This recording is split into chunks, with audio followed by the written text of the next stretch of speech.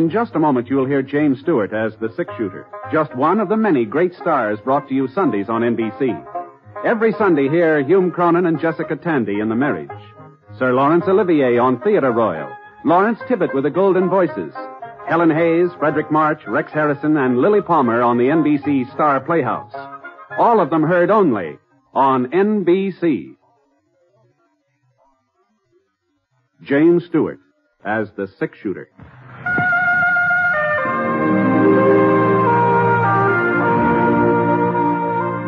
The man in the saddle is angular and long legged. His skin is sun dyed brown. The gun in his holster is gray steel and rainbow mother of pearl, its handle unmarked. People call them both the six shooter.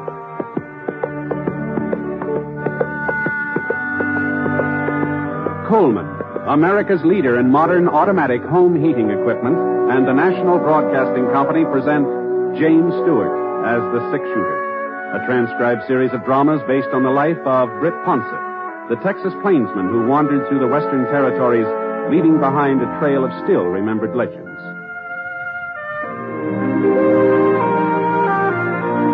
Now, in just a moment, immediately following this important announcement, you'll hear Act One of The Six Shooter. Have you heard about the Joneses? They're going to Europe for six weeks. They'll start in England, then visit Holland, Belgium, France, and Italy. It'll be a wonderful trip, a lifelong dream come true. And someday, it can be your turn to do just as they did. Put your money where it will earn $4 for every $3 you invest in United States savings bonds. Start planning today. United States savings bonds can take you to Europe too. Now, Act One of The Six Shooter, starring James Stewart.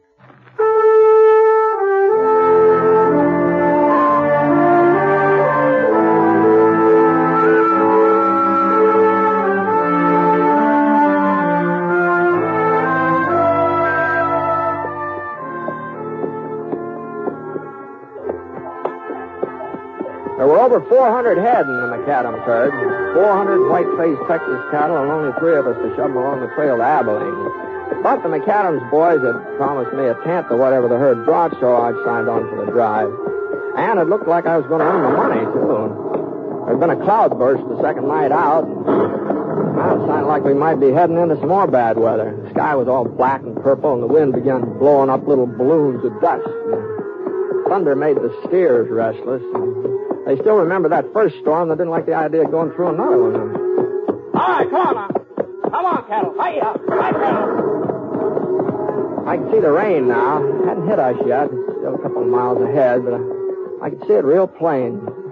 Streaking down across the sky like little silver lines on a gray blackboard. In the canyon where we were, the sun was still shining. It gave me a sort of funny feeling. Rain and sunshine all at once, sort of like being two places at the same time. Rife McAdams, he came pounding up from behind and reined up alongside of me and Scar. Oh, boy. What do you think, Britt? Well, if that wind don't change, we'll be getting wet inside of 15 minutes. Don't look like it'll change. No, afraid not. And I guess we might as well keep on going. It'll be easier to handle if we're out of this canyon when the storm hits. Yeah. I'll ride up and tell Norm. Okay. Norm! Hey! Yeah? Get the light out. Keep moving. What's the hurry? Enough for you? Do as I tell you. Stop beeping. Okay, okay. On, move it. Norm will speed him up, Britt. I'm going back and see if there ain't no stragglers. Uh, want me to give Norm a hand? No, no, I can handle it myself. It's about time he learned how. All right, you're the boss. Yeah. Just, uh, keep an eye on him, Britt. Sure, sure. That lightning had hit a pine tree about 50 yards up the side of the canyon. And when it toppled over, it started a couple of boulders rolling down the side of the ravine toward us. That was all the cattle needed to set them off. One of the longhorns took a look at the rock and let out a bawl that told the other animals to get out of his way. Hey, stop him, Norm! Stop him before they stand Rife circled around and galloped over toward his brother. But Norm wasn't waiting for him. No, no. I saw him head up the slope of the canyon, and it looked to me like he didn't intend to stop anything. All he cared about was getting out of the way. So I dug my heels into Scar's flanks. We rode right into the middle of the herd. If I could split them in half, only part of them would tear loose, even in a stampede. Rife was in front of the herd now. Ah, ah the lead steer turned off. A couple of more shots, and the rest will follow. There we are. I knew there wasn't going to be any stampede. Not now, anyway. Rife had stopped them just in time. Ah, it's nice going, Rife. Somebody had to do it. Yeah. What happened to you? Horse bolted.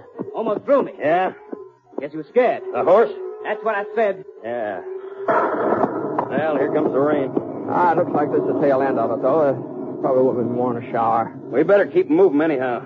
You take over up here, Britt. Normal riding back with me. Sure. Your horse all right now? I guess so. Okay, let's go.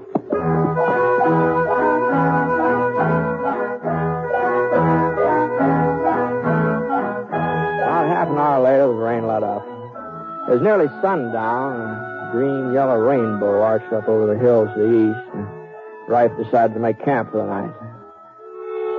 Neither of the McAdams brothers said much during supper, and afterwards Norm sort of moved off a couple of yards from the campfire and started playing his mouth organ.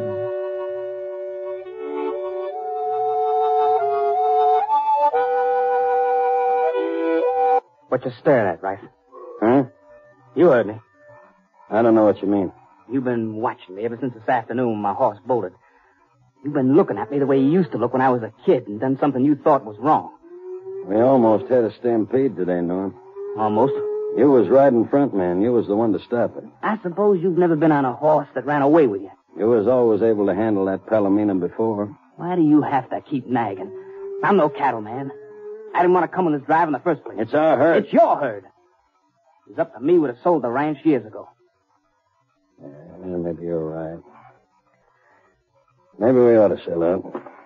We'll talk about it when we get back home. Hold up a minute. Thought it was my turn to look after the cattle tonight. It's been a pretty hard day. You're probably tired. I'll wait. I'm you- no more tired than you are. Okay, Norm. I'll be over on that hill over yonder. Well, you're not serious, right, about selling out, are you? There's something in what Norm says. He's no cattleman. Well, maybe not, but you are. I can always get work somewhere. Carrie'd probably be happier in town anyway. Carrie? My wife? Oh, well, I didn't know you were married, right? Yep, last winter. She's staying with her folks in Bradley while we take the cattle north. Is that so? Carrie's a fine girl, Britt, younger than I am, about Norm's age. Young and pretty. You'll like her, everybody does. Yeah, even Norm.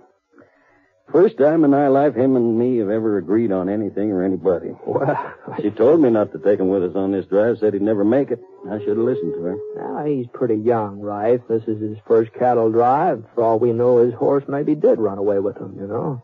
Norm did the running, not his horse. He's no good, Britt. I guess it's my fault. I guess I brung him up wrong, but he's no good. You're not his father. You're not to blame for how he turned out. I'm the only father he ever had. Our old man died when Norm was just a baby, and Ma just lasted a couple of years after that. Oh, I'm sorry. I was 13, practically full grown when she passed on, but Norm was only four. She made me promise I'd look after him, see that he got his schooling and a chance to mount to something. Yeah. Fire's almost out. Oh, here, I'll fix it. I sent him to school, bought him books, but he wouldn't stick it out. It was too much like work. That's his real trouble, Britt. He's lazy, he's selfish. Expects everything to be handed to him all tied up in a fancy ribbon. Like this afternoon, he wasn't afraid of the cattle. He just couldn't be bothered stopping them. He didn't care that much. Well, maybe he's had it too easy, Rife. Maybe if the chips are down, he'd surprise you. Maybe. Well, I'm not making the same mistake again. Not with my own kid. With your own, what? Yeah. Carrie's expected. He might be here by now, for all I know. Well, well, congratulations, Rife. Thank you. I'll buy you a cigar have Yeah, all right. Oh, well, that's fine. Well, I, I guess maybe it's time to turn in, I think. I ain't very sleepy. I think I'll go up and, uh, well, see if Norm's all right. oh, doggone it. Brady is my kid brother. Sure, I know, right? Sure. Good Night. Good night. I banked the fire for the night and spread out my bedroll. The moon came up, full moon, kind of a moon you ought to have after a rain. Now I stretched out flat.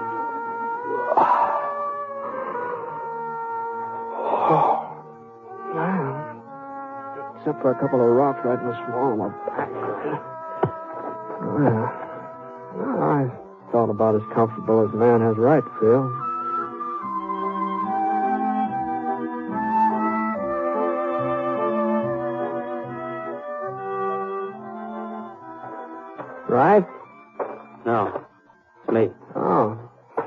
Thought you were looking after the herd. Rife come nosing around. Guess you don't trust me. So if he wants to stay up all night, that's his business. Uh, oh, uh, sorry. Yeah, we got nothing but heroes on this drive. Uh, how do you figure that? Well, you're the six shooter, ain't you? Supposed to be the fastest man with a gun west of Kansas City. East of there, too, from the way folks tell it. No, you shouldn't believe everything you hear, Norm. I don't. I don't believe you're any faster with a gun than the next man. Probably not. I don't believe you're any faster than me. See that white rock over there? Well, Hmm. Oh, you're good. go ahead. It's your turn. Well, I'm afraid I'm sort of out of practice of shooting at rocks. I used to do it, but I haven't tried it recently. What do you mean by that? I'm still a kid? I didn't mean anything. You're a good shot. Now, good night. Maybe you think it was an accident I hit it. I hit it. I can do it again. There. See that? Good night. Oh. The oh.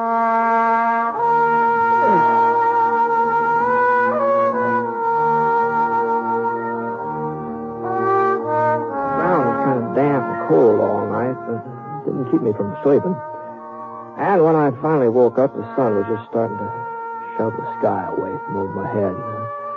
A couple of seconds, I couldn't quite decide whether to open my eyes or not, but the smell of coffee made me make up my mind. Oh! Morning. Morning. Want some Java? Ah, thanks. Thanks. Where's Norm? Taking a bath? Taking a, a bath? Yeah. Found a water hole the other side of the hill. Oh, He'll be back any minute. Trust Norm to keep himself duded up. Wouldn't surprise me if he showed up wearing a clean shirt. Yeah. Well, you can't blame a fellow for. Oh. Yeah, what's, this? Hmm? Oh. That looks like a letter. Oh, oh, here, it's yours. Mine? Well, it says Love Carrie. Isn't that your wife's name? Carrie? Yeah. Yeah, well, here. Read it to me, Britt. What? Out loud. Read me what it says. Well, I, I uh, I'm not uh, interested in somebody else's mail, Rife. I especially love letters. Is that what it is? Well, you- you ought to know. It's yours, isn't it? No. No, but it ain't. Carrie ain't never written me. She knows I can't read. It's Norm that had the school, and remember, Britt, I told you last night. Yeah, yeah, I remember. Read me what it says. Go on, Britt, read it.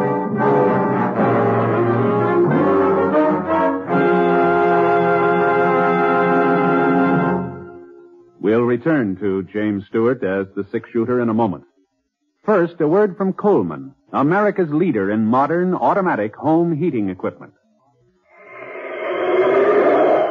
You'll be glad this winter you bought a Coleman heater this fall. Yes, as you sit back in your easy chair, snug and comfortable, you'll be glad you bought a Coleman heater. You'll enjoy floor to ceiling warmth in those rooms you could never heat before. Get your Coleman oil or gas heater now during Coleman's big bonus sale. Here's what you get. First bonus, a new low price. Yes, now you can get a dependable Coleman automatic heater at a new low price. Second bonus, a new low operating cost. Coleman saves you up to 25% on heating bills because Coleman gives you maximum heat from your fuel. Third bonus, a 32-piece set of Libbey's Safe Edge glassware worth $14. It's free with your new Coleman heater. Get three big bonuses. Get your Coleman oil or gas heater now during Coleman's big bonus sale. This sale is for a limited time only. So see your Coleman dealer tomorrow. You'll find his name and address in your telephone directory.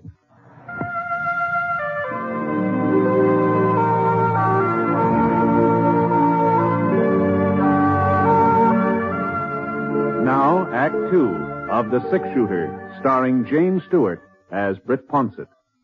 The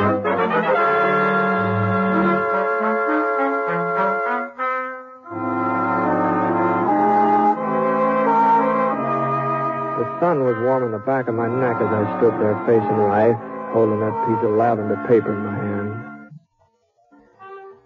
I looked down at the letter and then up at Rife again. He was just standing there, waiting, not moving.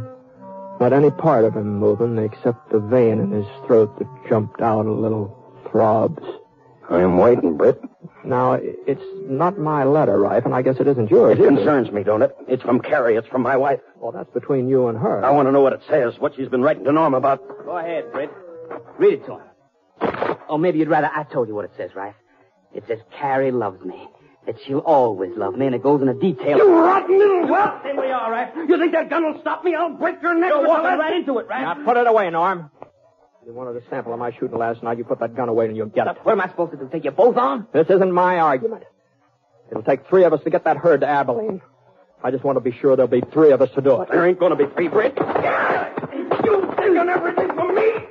All your life you've taken everything, but you're not taking Carrie. All right, that's enough, right? Come on now. I meant what I said about finishing that drive. Two men may not make it, and I'm going to be sure I'm not going to lose that money you promised me. Now, come on. Now, straighten up here. What's the matter with you? Uh, you both able to ride now? Yeah. All right. I'm able. Norm, what about you? Sure. All right, now, come on, let's get started. I dumped out the coffee and covered up the fire while Norm got the horses. We saddled up and got the herd underway. Norm moved out to the front, and I stayed in the middle. Rife brought up the rear. I figured it'd be just as well if I stayed between them. I looked back a couple of times, and whenever I did, I saw Rife staring at Norm, watching him, watching every move he made. But he didn't say a word. All day long, he didn't say a word.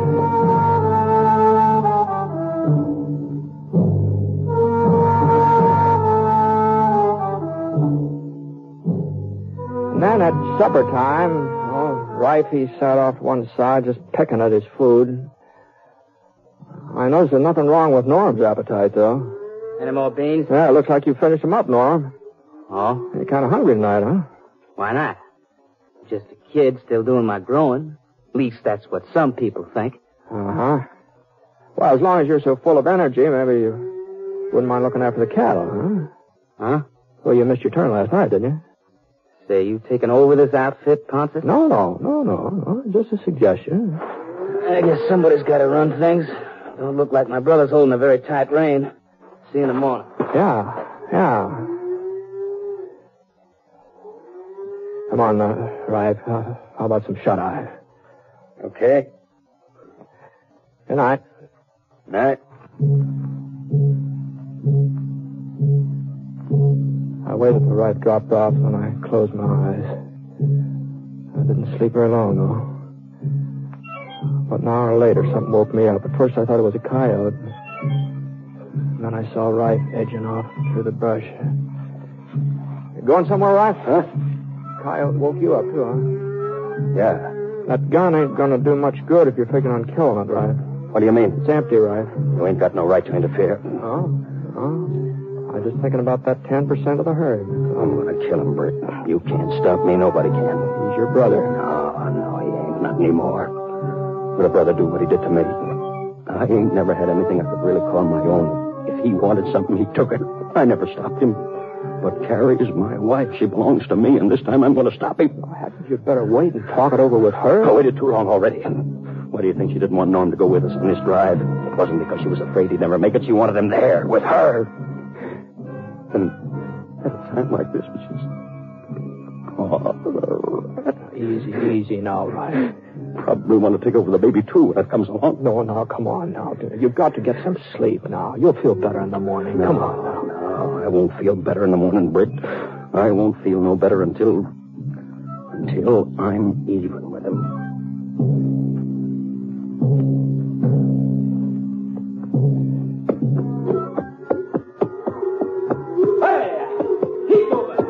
Ah, I guess none of the three of us got much sleep that night, and by noontime the next day, that saddle of mine was a little harder than usual. I'd been sort of keeping my eye on Rife. He was still riding behind me. But the sun was getting hot, and I was kind of drowsy, so I... I just sort of jogged along for the next few miles, not paying much attention to anything or anybody. If Scar hadn't given me a jolt, easy, boy, easy, easy now. I wouldn't have looked around, and I wouldn't have seen that we were coming into a gorge. It was very narrow, barely wide enough for the herd, and the rock walls jutted up at a sharp angle, too steep for a horse to climb. By the time I got my bearings, it was too late. This was just the kind of a place Rife was looking for. I couldn't see him now, but I knew he was doing the firing, and I knew why. He was trying to stampede the cattle. And there in the gorge, Norm wouldn't be able to get out of the way. There was no chance of getting back to stop Rife. All I could do was just jam right into the middle of the herd. Come on, boy. Now, come on. Come on. Come on. Scar fought his way past a couple of steers. I tried to keep them under control, but the ones from the rear started pressing forward in earnest, and I, there just wasn't no holding the rest of them. And we was right in it now, a real stampede. This was Rife's way of killing his brother, and I wasn't so sure I was going to fare any better than Norm. A couple of the cows shoved against us, almost toppled us over. Scar was pretty certain to lose his footing before we could get much further, and I, I jerked out my gun. I cleared us a little path, but the cattle plugged up before we get through. All of my shooting was just making things worse. There was nothing to do now but just give Scar's hit. Let him, let him run with it. I hadn't had time to worry about Norm. I didn't know what had happened to him. I didn't even think about him until it... Hey, that, that wasn't firing. Wasn't Rife firing. That was from up ahead. Well, the, herd was half crazy now. They'd been shot at from all directions. They didn't know where to turn now. I rose up in my stirrups and looked forward. Norm... Norm was holding his ground at the mouth of the gorge. He could have gotten away, all right, but he... He was holding his ground. I hadn't lifted myself up. Maybe I, I'd have been able to hang on when the cattle twisted around and started changing direction. As it was, I... Scar held his ground, flattened out behind a rock. That was the only thing that saved my neck. I rolled under him. The cattle, as they swung around, started heading back to the door.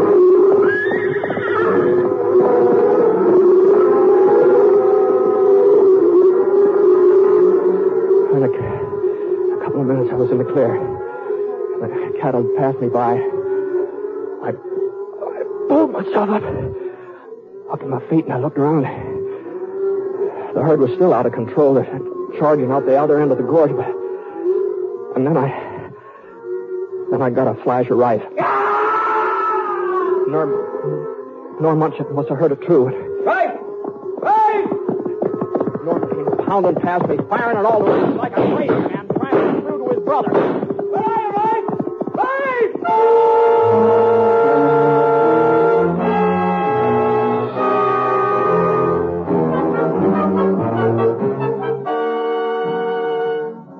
Had moved on almost out of sight now before I saw Rife again. He was lying on the ground in a smear of sticky red dust, and Norm was there bending over him when I got up to him. You.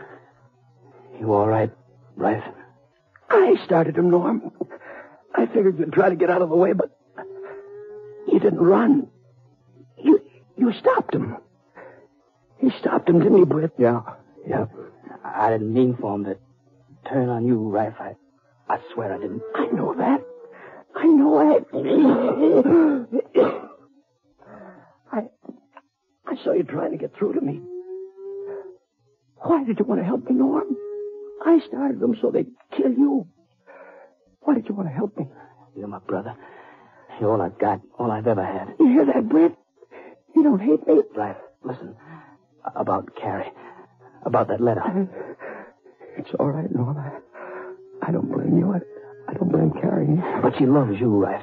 That letter was written a long time ago, before you and her were married, before she even knew you. Long, a long time ago. Yeah, I've carried it with me ever since. I was in love with her, but she wasn't in love with me, not ever. And when you come along, she realized that she she's never had anything to do with me since. I only kept the letter so that I could show it to you when you got to riding me the way you did yesterday. You, you're telling the truth. You know I am, don't you? Yeah. Yeah, I guess I do. Sure. I guess I've known it all along. When Carrie told me about us having a baby, I, I was so happy and proud it almost spilled over. I guess a man couldn't feel that way if he wasn't sure of his wife. Take it easy. Take it easy, Rife. Now, don't try talking too much. What's the matter with you, Britt? You think them cattle finished? No, no, of course not. You said no. it'd take all three of us to get to Abilene. That's the way it's going to be. All three of us. Sure. You and Norm and me. Maybe a while before I can get on my legs, but you just give me a couple of hours rest while you're rounding up the herd. A couple of hours and I'll be round to... Uh, Rife. Rife. He's dead, Norm. But but it can't be. He was feeling better. You heard him. Well, a man don't always know when he's dying, Norm. Sometimes a man's lucky. I. Britt. Britt, I. Yeah. It's only. Only kids that cry, ain't it? I guess. I guess this makes me kid. Oh, I wouldn't say that, Norm. I'd say you've done a lot of growing up today.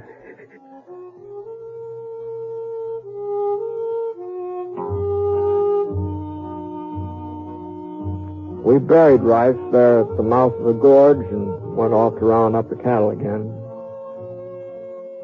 We managed to find most of them, and about a week later we hit Abilene. All during that week, I kept wanting to ask Norm about that letter from Carrie, if it was true what he told Rife, if it really had been written a couple of years ago. But somehow, I, I don't know, the subject never came up. Leastwise, I never found a good time for bringing it up. Mm-hmm. Besides, it really wasn't any of my business.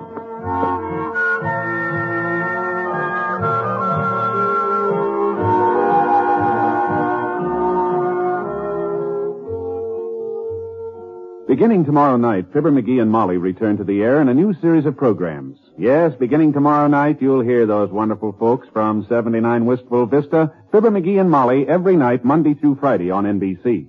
As a matter of fact, this is the week that will see 28 new programs beginning on the NBC radio network. And you'll find that an evening with NBC radio is an evening sure to entertain. So make a date to keep your dial set where you hear the familiar NBC chimes. Your invitation to the best in radio programming.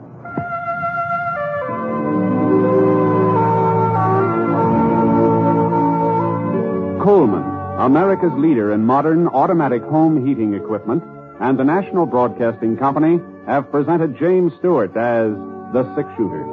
Mr. Stewart may currently be seen in the Universal International picture Thunder Bay. Others in the cast were Lou Merrill and James McCallion. The Six Shooter is an NBC Radio Network production in association with Revue Productions and is based on a character created by Frank Burt, and today's transcribed story was written by him. Special music was by Basil Adlam, and the entire production is under the direction of Jack Johnstone. All characters and incidents were fictitious, and any resemblance to actual characters or incidents is purely coincidental. This is Hal Gibney speaking. Listen to Last Man Out, one of the Magic 28, next on the NBC Radio Network.